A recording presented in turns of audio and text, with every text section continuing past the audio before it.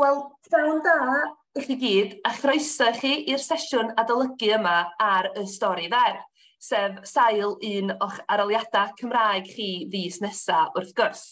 Fion dwi a dwi'n gweithio fel swyddog hyrwyddo'r Gymraeg fel pwnc yn y Coleg Cymraeg Cenedlaethol.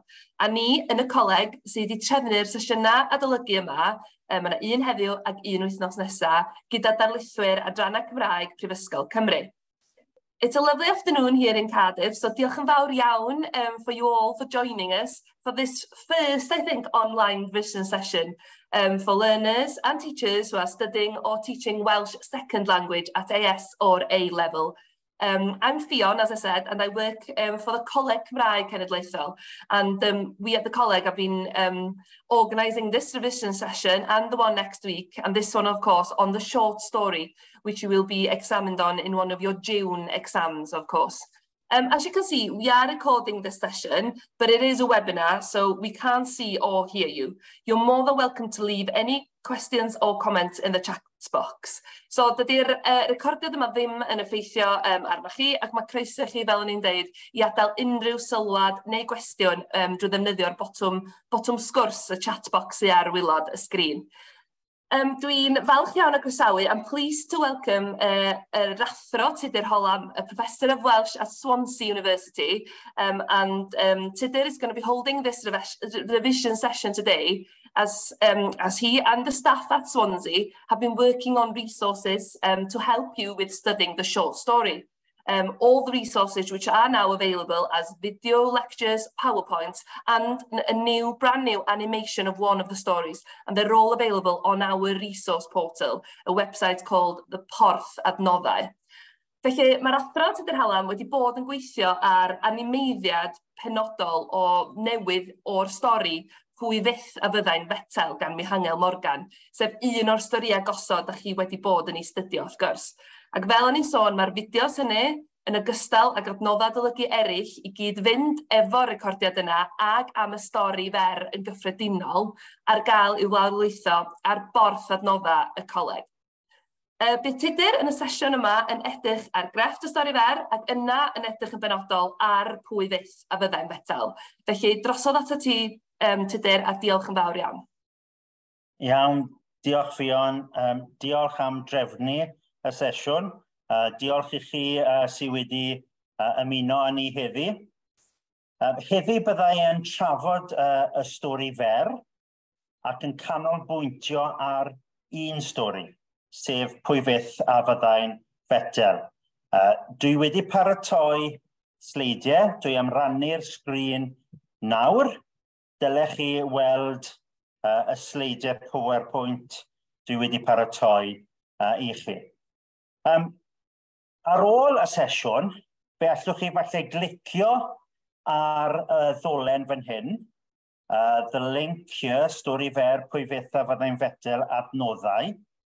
Os gliciwch chi ar y ddolen, if you click on the link, fe welwch chi yr adnoddau, the resources, yr adnoddau rydw i a rhai eraill ym Mhrifysgol Abertawe wedi eu creu.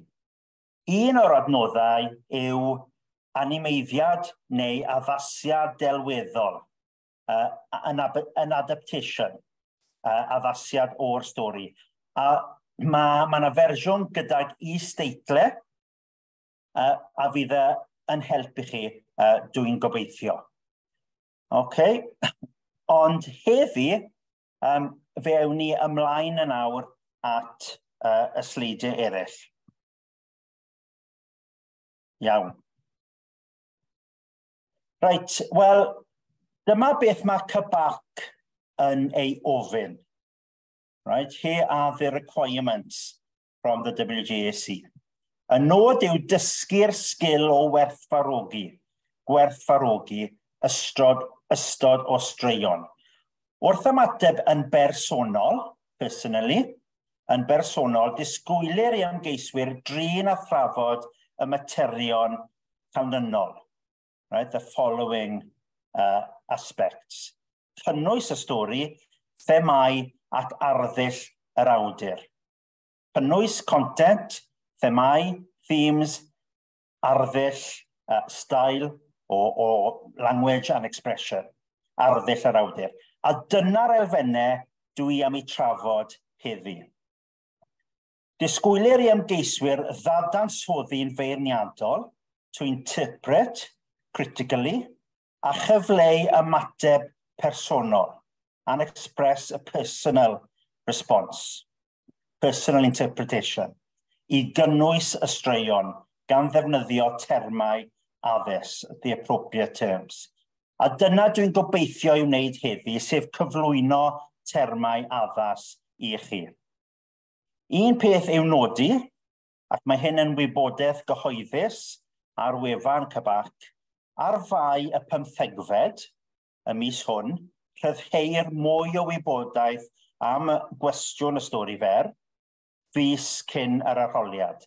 Felly ar y pymthegfed, on the 15th of this month, bydd mwy o wybodaeth, more information, mwy o wybodaeth yn cael ei roi am y stori fer, a hynny fus cyn yr arholiad, a month in advance of the exam. Felly, un peth i gadw uh, mewn cof. Reit, elfennau'r stori fer. Elfennau'r stori fer. The ingredients, right? Cynnwys y stori fer. Wel, cymeriad. Dylech fedru disgrifio'r prif gymeriad ar ôl y cymeriadau eraill i perthynas a'i gilydd, ei gwrthdaro hefyd. Beth yw chwant y cymeriad? Gofynnwch y cwestiwn hwn, beth yw chwant y cymeriad? What does the character want? Gofynnwch y cwestiwn hwnnw. Gofynnwch hefyd beth yw'r cyferbeniadau, contrasts yn y stori. Gan amlaf mewn stori, mae yna dyferbeniadau. Yn aml iawn bydd cymeriad yn cyferbynnu ag un arall. Quite often, one character will contrast with another. Right? Gofynnwch y cwestiwn beth yw'r cyferbyniadau. Hefyd, weithiau, bydd yna gyferbyniad rhwng y cymeriad a, a'i amgylchiadau. Right? Sometimes there'll be a, a contrast between the character and his or her surroundings.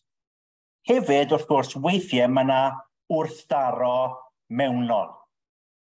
Inner conflict, gwrthdaro mewnol, y tu fewn i un cymeriad. Felly, y peth pwysica un mewn stori yw cymeriad. Ond, gyda chymeriad, mae yna ddigwydd. Digwydd yn Saesneg falle yw action. Digwydd. Dylech fedru nodi beth sy'n digwydd yn y stori, a sut y mae'n datblygu a sut mae wedi ei strwythuro. Felly mae rhaid i chi wybod cynnwys y stori, content. Right? Beth sy'n digwydd? Beth yw'r delweddau cofiadwy? Right? Memorable images. Beth yw'r delweddau cofiadwy? Um, yn y brifysgol, dwi'n dysgu myfyrwyr i astudio llenyddiaeth ac i sgwennu llenyddiaeth, a dwi bob amser yn pwysleisio tair elfen. Mae llenyddiaeth fawr yn cynnwys cymeriad yn ei ddigwydd, character in action, hefyd hyferbeniadau a hefyd delweddau. Right? A dyna i fi, dyna'r tail elfen bwysicaf mewn stori. Cymeriad yn ei ddigwydd, character in action, cyferbyniadau, contrast, ju juxtapositions, a wedyn delweddau, lluniau, uh, images. Ymlaen â ni. Iaith. Mae ma Cybac yn gofyn i chi drafod arddull right? Uh, mynegiant um, iaith. Um, dylech fedru graffu ar elfennau ieithyddol y stori. Geiriau trawiadol, defnyddio tafodiaeth, defnydd effeithiol o'r negydd, berfau gorthmynol, imperative verbs, ansoddeiriau, cysyllteiriau, dialog, y person cyntaf, first person narrative, y trydydd person, ailadrodd geiriau neu rhythm, uh, repetition, defnyddio arddull syml, defnyddio arddull flodeuog, flowery, right, style, defnyddio ebychnog, exclamation mark, neu gwestiynau amrywio hyd brawddegau, um, defnyddio brawddeg fer i gloi paragraff. Mae hynny'n digwydd yn aml mewn, mewn stori fer. Um, byddwn ni'n trafod rhai o'r elfennau hyn wrth edrych ar, ar un stori heddi. A, a gwedyn, uh, yn ola, un fyna, dwi'n um, geisio symud rhywbeth ar y sgrin. Uh, neges. Dylech fedru nodi beth yw neges y stori, neu, neu thema y stori. Beth rydym yn ei ddysgu am y natur ddynol. Mae llenyddiaeth dda bob amser yn yn helpu ni i ddeall rhywbeth newydd am y natur ddynol.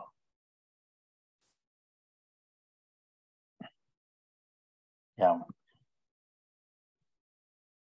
Right, dyma ychydig ymadroddion, some phrases, before we look at the story, dyma rai ymadroddion, some phrases, um, defnyddiol dwi'n gobeithio, useful phrases ymadroddion uh, defnyddio. Mae'r prif gymeriad yn dal ein sylw'n syth. Mae'r prif gymeriad yn dal ein sylw'n syth. The protagonist grabs our attention immediately. Un ddigon odd, ond digon hoffus i'r prif gymeriad. Right? Gallwch chi newid yr asodd eiriau wrth gwrs, right? un, un digon od, ond digon hoffus i'r prif gymeriad. Ond dyna frawddeg, neu dyna siap frawddeg y gallwch chi ei, uh, ei ddefnyddio. Un digon od, ond digon hoffus i'r prif gymeriad.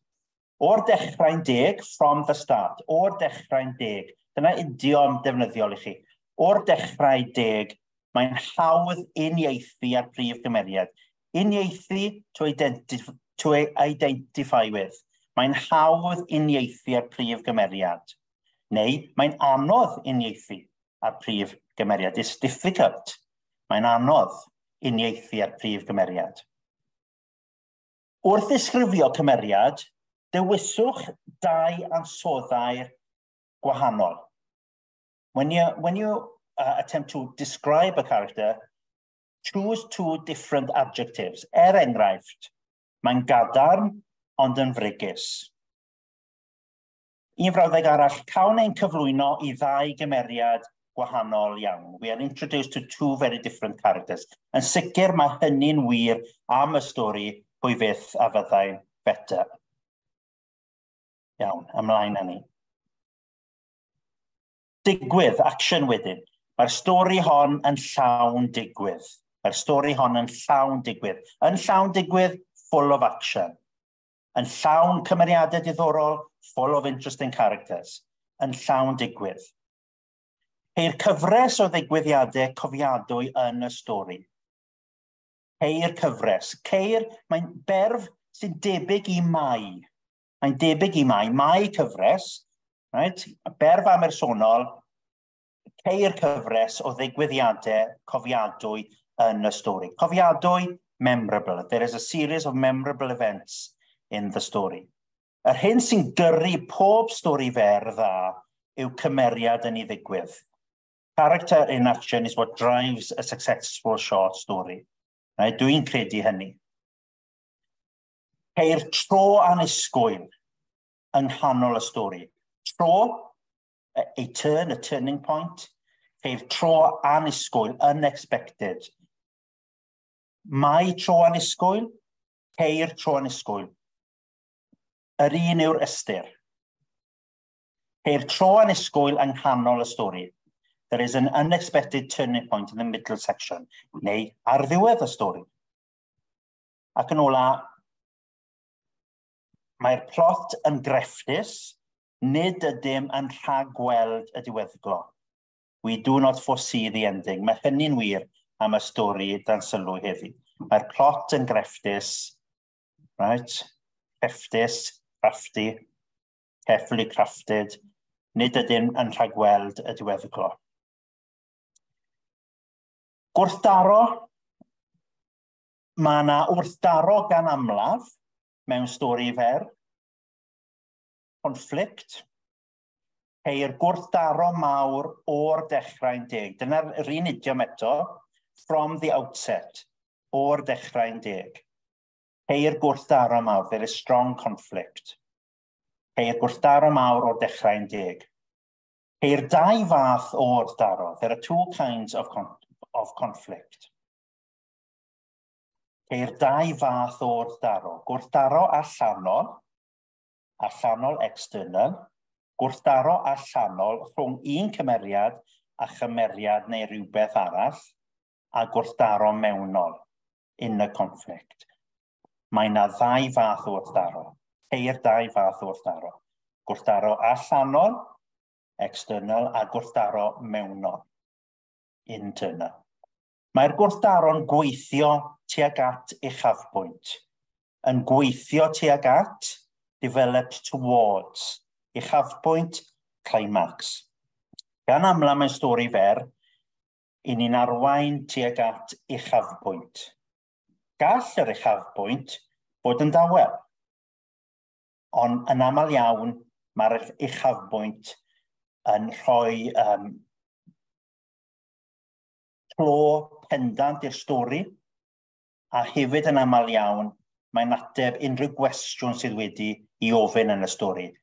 Ac yn aml, fel yn achos y stori dan sylw heddi, um, mae'r emosiwn yn gryfach ar y diwedd. Un frawddeg arall, y gwrthdaro sy'n rhoi egni i'r stori. It is the conflict that gives the story its energy. Y gwrthdaro sy'n rhoi egni. Egni energy. Right? Y gwrthdaro sy'n rhoi egni i'r stori. Felly dyna rai ymadroddion brawddegau defnyddiol ar wrthdaro nesaf strwythyr. Strwythyr yw structure, uh, gair tebyg i, i blot. Wedi brawddeg a goriadol gofiadwy, cyflwynir ni i sefyllfa ryfedd iawn. Right? Mae'r stori fer gan amla yn dechrau gyda brawddeg agoriadol dda. Right? Uh, a short story needs a memorable uh, opening sentence.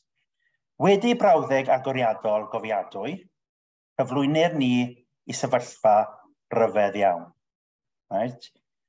Cyflwynir ni, we are introduced. Berf amersonol yw cyflwynir. Cyflwynir ni, rydym ni yn cael ein cyflwyno. Dyna'r ystyr. We are introduced, rydym ni yn cael ein cyflwyno, cyflwynir ni. Cyflwynir ni y sefyllfa ryfedd iawn.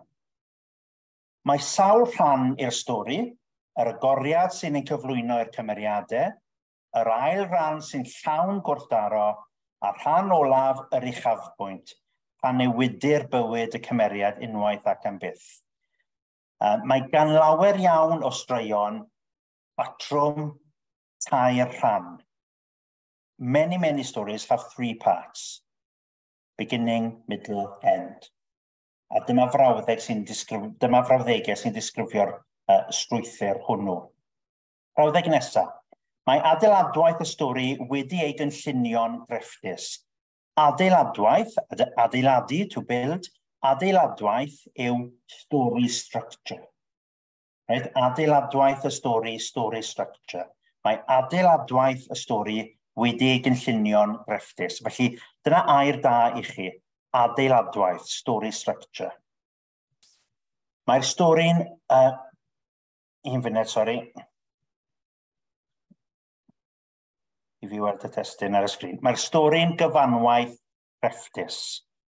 Cyfanwaith, one complete thing. Cyfanwaith.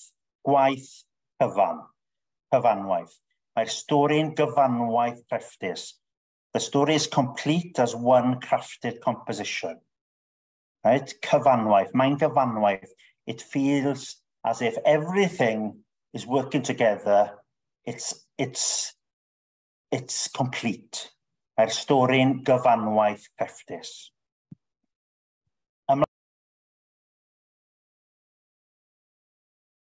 Sorry, mae'n ar mute yn funed. Un funed, iaith.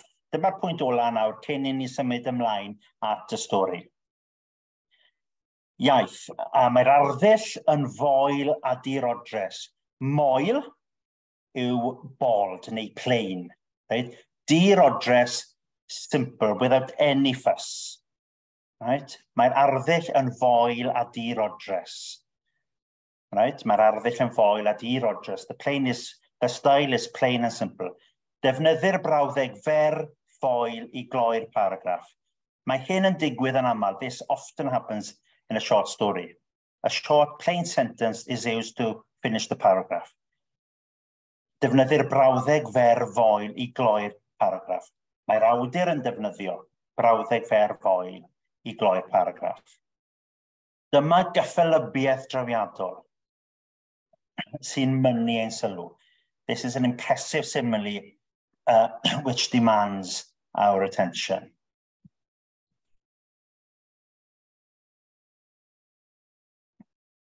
Sorry. Beneidio, which grabs our attention. Uh, Ceir nifer o ferfau yn yr adran sy'n sicrhau bod y stori yn llawn digwydd. Right? Mae rhaid i chi ddisgrifio arddull y stori, edrychwch ar y berfau. Mae hyn gan amla yn wir. Ceir nifer o ferfau yn yr adran sy'n sicr bod y stori'n llawn digwydd. Mae berfau yn cyfleu digwydd. Um, verbs express action.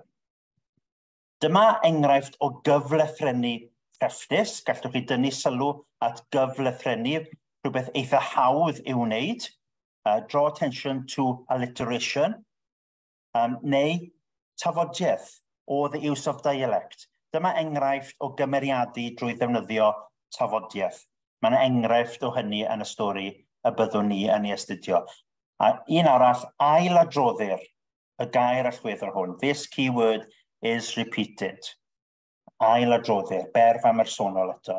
Mae'r gair allweddol hwn yn cael ei aladrodd. Ail adroddir y gair allweddol hwn.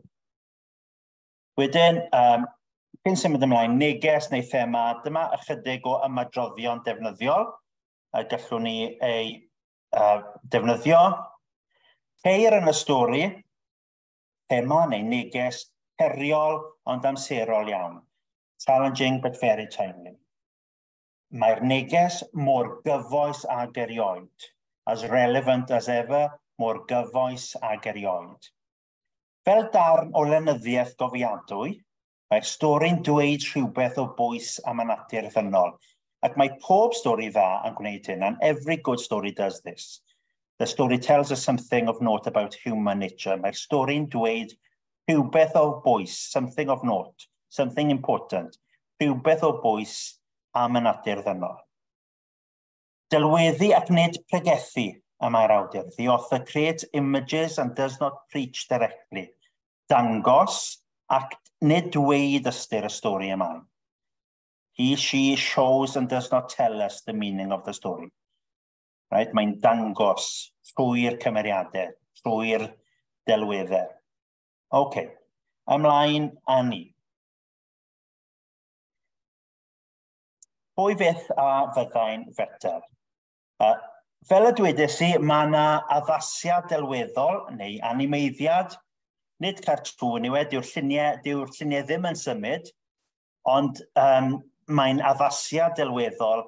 Um, os gliciwch chi ar y ddolen, uh, fe, fydd cyfle i chi weld uh, yr addasiad uh, ar ôl y ddarlith yn eich amser eich hun. Mae'r sleidiau hyn hefyd ar wefan y porth. Dwi nawr yn mynd i sôn ychydig mwy am y stori pwy fydd a fyddai'n feter. Dyma fy ngwerthfarogiad i okay, o'r stori. Byddai'n trafod yr elfennau hyn. Stori am beth yw hon, y cynnwys. Byddaf yn cyflwyno'r prif gymeriad a'r brif thema. Byddai'n gofyn y cwestiwn wedyn, pwy sy'n twyllo pwy? Right? Pwy sy'n twyllo pwy? Who's deceiving who? Pwy sy'n teithio? Pwy sy'n twyllo pwy? Byddaf yn trafod y digwydd, action, right, neu'r cynnwys. Gwerthfarogi'r stori wedyn, byddaf yn gwerthfarogi ambell elfen drawiadol o ran arddull a chrefft y stori, ac mae'n rhaid i chi wneud hyn. Dehongli'r stori byddaf yn cyflwyno dehongliad posib, o neges y stori. Stori am beth yw hon te, pwy fydd a fyddai'n fetel? Wel, stori am ddynes o'r enw non yw hon. Mae'n stori am ei pherthynas a dau ddyn, ei chariad, uh, sorry, un funed, Andy ei chariad a Jack ei gŵr, ac un robot uh, neu hen beiriant o'r enw cyflysgor X. Felly dyna'r prif gymeriadau. Cofion fod non yn enw ar Santes, mam Dewi Sant, Santes non. Mae moesoldeb a chrefydd yn amlwg yn y stori hon hefyd. Thema fawr uh, y stori yw twyll. Right? Mae rhaid i chi drafod themau'r straeon, Yn achos pwy fetha fyddai'n fetel, yn fy marn i, pwyll yw'r brif thema. Um, thema fawr y stori yw twyll a sut mae pobl yn defnyddio technoleg i dwyllo ei gilydd. A dyma lun sy'n rhyw ddangos sut mae technoleg a robotied yn y pen draw yn gallu achosi poen i ni. Pwy sy'n twyllo pwy felly? Mae non yn twyllo ei gŵr, gan fod ganddi gariad o'r enw Andy. Hwn yw'r un diweddaraf yn ôl cyflysgar X. Hynny yw, mae yna awgrym bod sawl un wedi bod. Right? Hwn yw'r un diweddaraf. Andy is the latest lover. Uchafbwynt y stori, uchafbwynt y stori yw'r modd y mae cyflysgar X yn datgelu'r gwir am ei chelwydd. Right? The big reveal, revelation, uh, datgelu'r gwir. Cyfrexter X yn datgelu'r gwir, uh, he reveals the truth am ei chelwydd. Gwn dy gyfrinachau i gyd, gwn am dodineb, dan ffyddlondeb, mae ddiwch y, y llais robotaidd. Uh, mae'r llais ar yr addasiad delweddol, uh, gan uh, gydweithiwr i mynd yr adran dipyn gwell. Mae ei gŵr Jack yn twyllo'n on. Uh, dawn amlwg, uh, it becomes apparent, dawn amlwg. Ar ddiwedd y stori mae teclyn ysbio sy'n cael ei reoli gan ei gŵr yw cyflesgar X. Right? Dyna yw cyflesgar X, teclyn ysbio, y surveillance tool. Mae Jack hefyd yn anffyddlon, mae'n mynd i Baris gyda chariad newydd. Pwy arall sy'n twyllo? Wel, synhwyrwn, we sense, synhwyrwn hefyd fod y gweinidog Pris Probert yn twyllo'r gynulleidfa. Mae'n cynnig gweddiau gwerthfawr, uh, valuable prayers, i bobl. Ond dim ond am dal, am dal, tal payment. Mae'n rhaid talu am y gweddiau. Mae'n ymddangos yn ddiffiant, sincere, he seems sincere, mae'n ymddangos yn ddiffiant, ond synhwyrwn, but we sense, ond synhwyrwn bod hyn i gyd yn ffug, yn ffug, fake. Awgrymir hefyd, is also suggested, awgrymir hefyd fod y Llywodraeth, uh, the government, bod y Llywodraeth yn un ddwy llodrus. Prif gyfrifoldeb pob llywodraeth yw edrych ar ôl y bobl, ond mae'r llywodraeth yn y stori yn seithi y rhai heb yn siynau ar digartref, ac mae'r heddlu yn Abertawe wedi lladd tuag ugen o bobl. Reit, mae'n creu lluniau. Felly mae'r sefyllfa yn un absurd, ond y gwir amdani yw ein bod ni'n gyfarwydd â, â sefyllfaoedd felly o bryd i gilydd ar y newyddion. Beth, mwy o dwyll. Os gallu rhoi coel ar eiriau cyflysgar X, rhoi coel if we, if we can believe. Right? If we can believe. Os gallwn ni roi coel ar eiriau cyflysgar, ar eiriau cyflysgar X, mae Andy hefyd yn twyllo non ac yn anffyddlon iddi hi. Fel y mae hi'n anffyddlon i Jack. Mae ganddo fe gariad ifancach o lawer a phertach na thi yn eistedd ar ei luniau. Nawr, dyna mae uh, Jack neu cyflysgar X yn ei ddweud. A gallwn gredu hyn i raddau, gan nad oes ganddo fawr o gydymdeimlad a non ar y ffôn.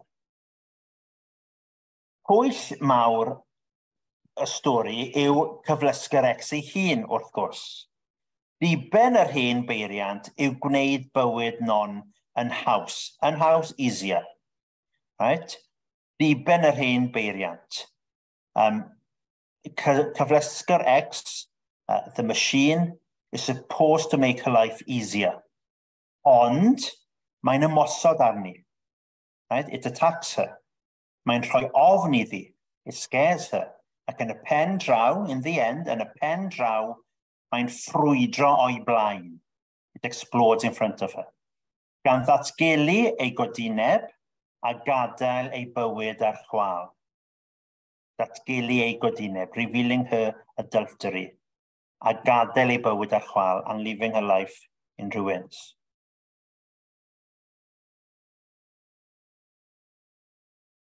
Felly mae pawb yn twyllo. Mae twyllo yn wir y norm. Mae twyllo yn megis y norm yn y, yn y gymdeithas, in society, yn y gymdeithas. Mae'n dderbyniol, acceptable. Yr unig ymeriad, the only character, yr unig ymeriad nad yw'n twyllo neb, who does not deceive anyone, yw Mari, enw cyfryddol arall. Ac eto, mae hi'n gwybod nad yw non yn ffyddlon i'w gŵr Jack. Um, nid yw hi'n herio hyn. She doesn't challenge this, the, the adultery.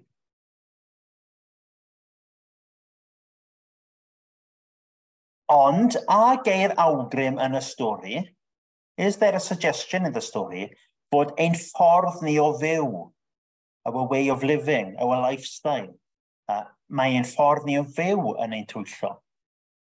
Mae non yn prynu cyfleuster X gan iddi gael swydd newydd, y new job. Mae'n gweithio drwy'r dydd bellach. Uh, works throughout the day. Bydd hi'n fenyw gyfoethog cyn bo hir, a rich woman uh, soon. Mae'n credu mai dyma a fydd yn ei gwneud hi'n hapus. Ond ni a Llandi eich ariad siarad â hi ar y ffôn am ei fod yn gweithio nawr. Andy, her lover can't speak with her because he too is working now. A ydym yn twyllo ein hunain wrth feddwl mae'r peth pwysicaf yn ein bywyd yw ein gwaith. Ac nid y person rydym wedi, wedi addo bod yn ffyddlon iddo iddi.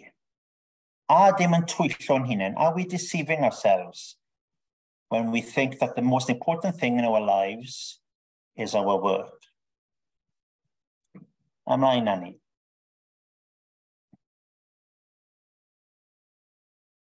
Ni, i ni gyd yn ala gymaint o amser wrth ein gwaith, yn enwedig wrth gwrs gyda'r aroliadau ar y gwell. Dwi ddim am awgrymu bod gweithio tuag at eich aroliadau ddim yn bwysig. Ond dyma un thema yn sicr yn, yn y stori.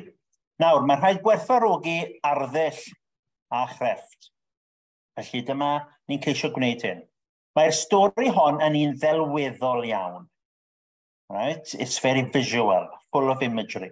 Mae'r stori hon yn un ddelweddol iawn. Mae'n apelio at ein synwyr o weld o'r cychwyn cyntaf neu o'r dechrau'n deg from the outset. O'r cychwyn cyntaf. O'r dechrau'n deg. Maen nhw'n meddwl yr un peth. Um, Mae'n apelio at ein synwyr o weld, o sense of sight, mae'n apelio at ein synwyr o weld o'r cychwyn cyntaf ac at ein synwyr o glywed a blasu. Glywed, glywed a blasu. Wrth ddarllen am yr hyn mae'n ei wneud, er enghraifft gosod hambwrdd dros luniau non, rydym yn graddol greu llun o'r peiriant yn ein meddwl. We gradually create a picture of the machine in our mind clewn, weithiau, clewn ei olwynion gwychlyd, squeaky wheels, clewn ei olwynion gwychlyd, dychmygwn ei lais.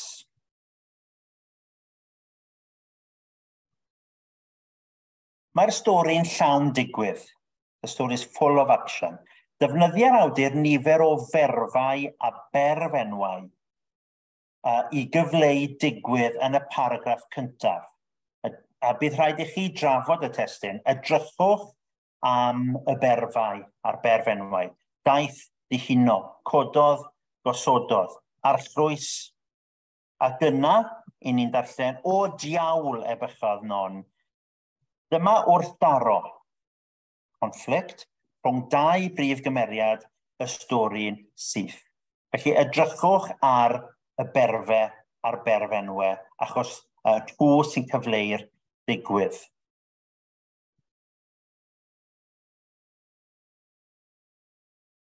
Cymeriadu drwy ddeialog. Uh, characterising drwy dialog. Daw'r cymeriadau'n fyw i ni drwy'r ddeialog. Bydd non yn aml yn defnyddio berfau gorchmynol, berfau sy'n rhoi gorchmynion right? Pai ti. Tro hwnna off. Gad i mi weld. O ffonio rhif na'n gloi. Tro hwnna i ffwrdd. Mae'n defnyddio berfeg ychmynol wrth siarad a cyflysgar X. A hynny, hyn i ddiorfod gorchymyn, cernôl, cernôl, cernôl. Mae'n defnyddio berfau gorchmynol er mwyn lleoli'r peiriant. Sorry. Trwy'r ddeialog, sydd yn aml yn defnyddio geiriau tafod ieithol, off, gloi, pwy iws, beth yffach, rydym yn medru closio at non yn y person cyntaf. Dyna yw effaith y person cyntaf yn aml. Ein helpu ni i glosio at y cymeriad. We can get close to non because the author uses the first person. Dyna yw effaith y person cyntaf. Rydyn ni'n clywed eu llais, deall eu meddwl, synhwyro'r emosiwn a deall beth sy'n digwydd.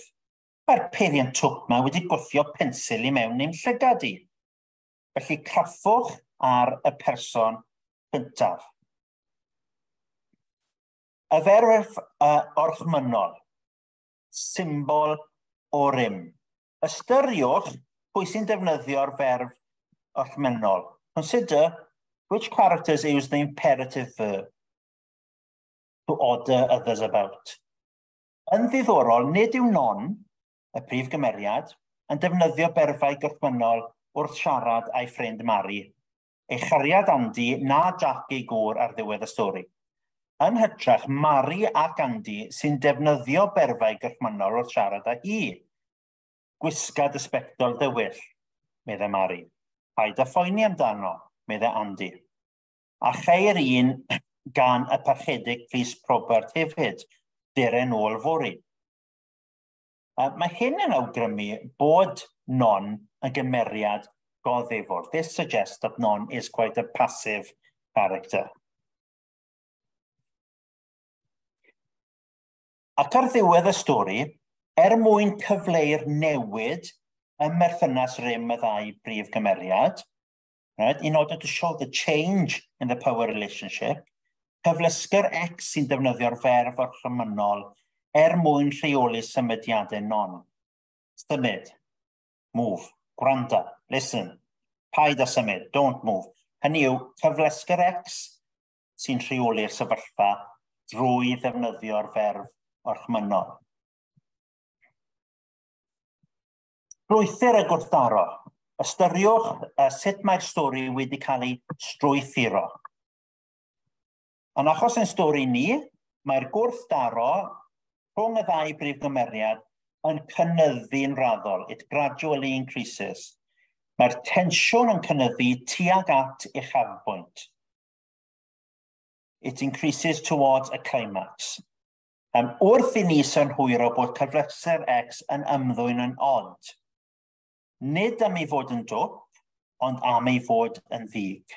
He, he, he is playing up, um, not because he is stupid, but because he is angry.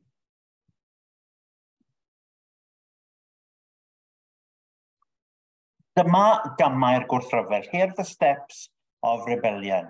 Dyma gamau'r gwrthryfel sy'n arwen at yr uchafbwynt. Un, rhoi coffi lligo i non llugoer lukewarm.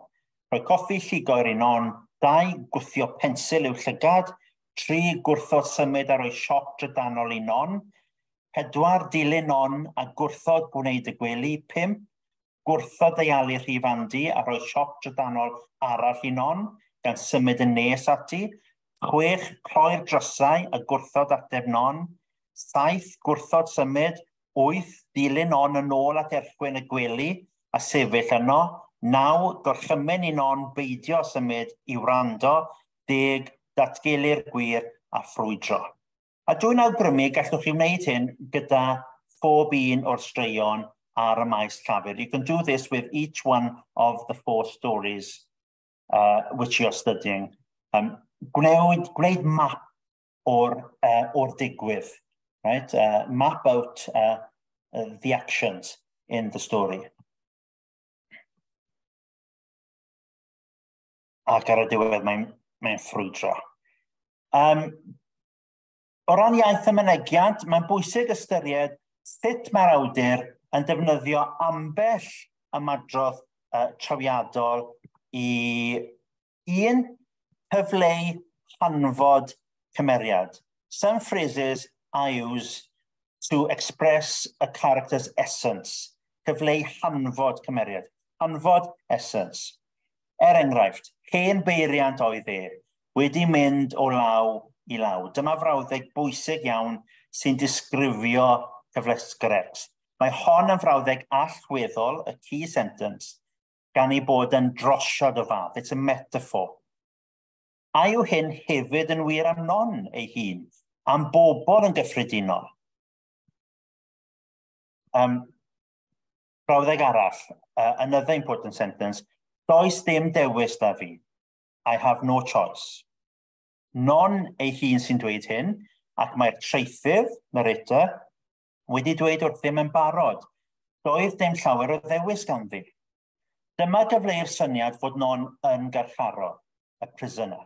Nid yn unig oherwydd cyflesgar X, ond gan nad yw ei gŵr yn gadael iddi ddewis pa beiriant y mae am ei brynu. Felly edrychwch am ambell ymadrodd trafiadol, ambell frawddeg allweddol.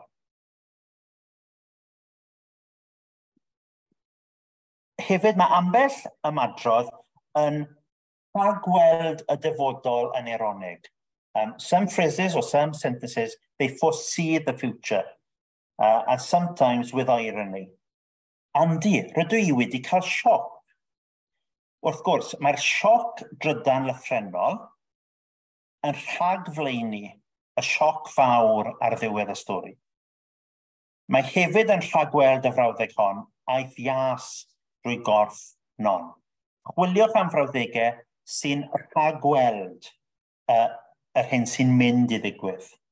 Look for sentences which, which foresee or which uh, foreshadow uh, the actions uh, we, which we read in uh, the story closer to the end. Ymlaen â ni. Defnyddir ambell ymadrodd trawiadol hefyd i gyfleu naws a neges. Some key sentences or key phrases are used to create atmosphere and, and meaning. Yn enwedig adeg moment dyngedfennol. Moment dyngedfennol. Er enghraifft, tawodd y peiriant am eiliad, roedd y distawrwydd fel distawrwydd y bedd. A dyna gyda chlic dechreuodd cyflesgar X eto. Right, dyma frawddeg allweddol. This is a key sentence. Mae tywelwch, tywelwch y bedd, yn gyfystyr am arwolaeth a hefyd datgyddiad hefyd. Right?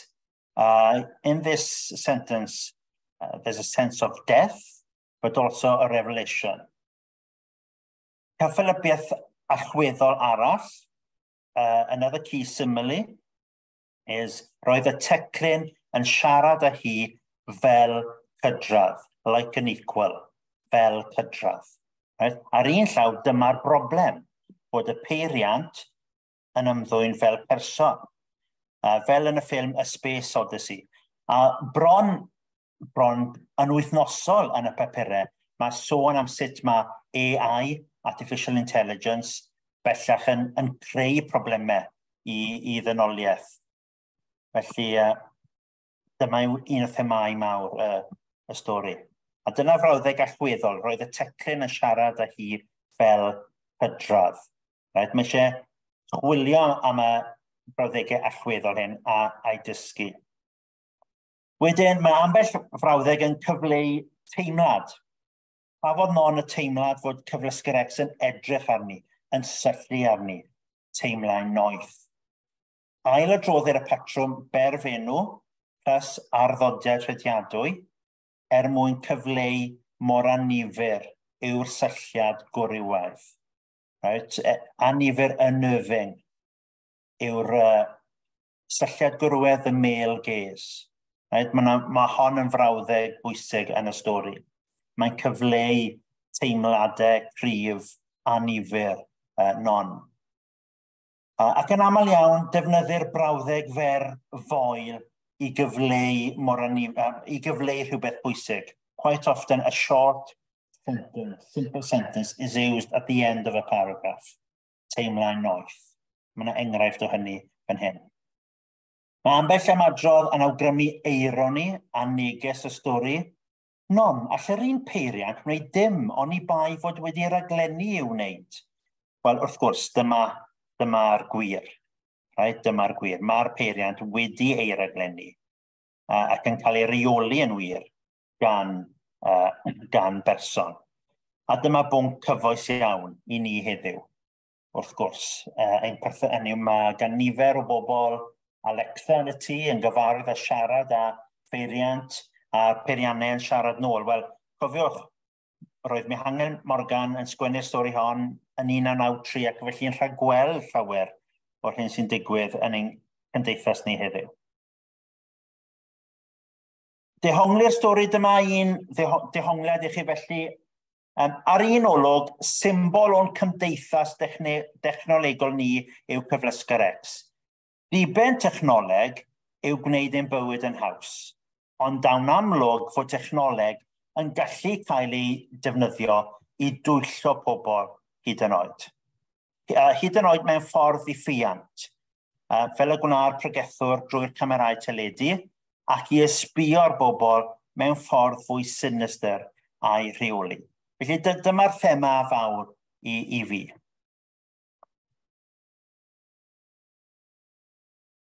awgrymir er bod non yn newid ei chariadon fel y mae hi'n newid ei ffeiriannau. Yr un diwedd araf yw Andy a cyflexygar X. Ond nid oes awgrym ei bod hi yn eithaf tebyg i cyflysgar X wedi mynd o law i law. Uh, pethau i'n helpu ni i ymlacio a gorffwys yw pobl a pheriannau. Uh, there is a su suggestion that non herself is quite similar to Cyflexger X. Uh, she's been handed on from person to person. Right? Pethau, things, pethau sy'n bwysig i ni. Uh, ewn ni ymlaen. A fydd non yn poeni? Will she care?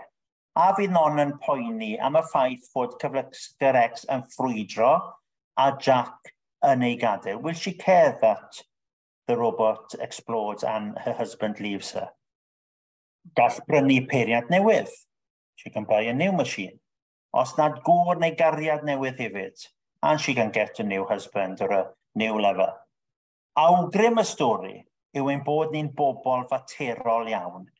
Uh, so the story suggests that we are very materialistic people yn ddi-deimlad hyd yn oed, without feeling even, a bod yr elfen ysbrydol, the spiritual element, a bod yr elfen ysbrydol yn ein cymdeithas yn llwgwr, fel pob dim arall. It's polluted like uh, all other aspects. Right, there's a suggestion that we uh, have become um, very materialistic in our, our outlook. Right, yr unig beth sy'n aros yn gadarn yw cyfeillgarwch gonest. Right, fel yr un rhwng non a Mari, sy'n gwybod am gyfrinachau ei ffrind ac sy'n disgwyl ymlaen i glywed y clecs am ei chariad diweddaraf. Right, so what is still true, and, and I think this is quite positive in the story, true friendship, cyfeillgarwch gonest. Mae hynny dal yn, yn, uh, yn dal dŵr. Ystyr bywyd yw cwrdd â ffrind a rhannu clecs manylion stori yn bywyd. I mean, what, what is the meaning of life? Uh, cwrdd â ffrind. Right? Meet, meeting our friends, uh, having a chat, rhannu clecs. OK, uh, mlaen â ni. Dyma nhw yn uh, sgwrs dwi hefyd gwela fi awgrym ffeminyddol. Uh, there is a feminist suggestion uh, yn y stori hefyd. Mae non yn garcharol, she's a prisoner, gan ei bod yn byw mewn byd a reolir gan the non, uh, uh, a world which is ruled by men.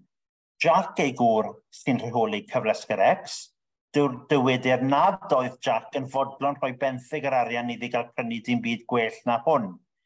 Er bod non yn gweithio'n galed ac yn ennill yn dda, nid yw'n ennill digon i fedru peri, prynu'r peiriant gorau ar ei phen ei hun. Dyn hefyd yw'r parchedig sy'n gwerthu gweddiau iddi, dyn sy'n syllu arni yn crombil y peiriant, dyn hefyd yw'r cariad sy'n ei hanwybyddu ar y ffôn. Yr unig un sy'n gwrando arnon, e- heb erbyniadu, without criticising her, yw Mari.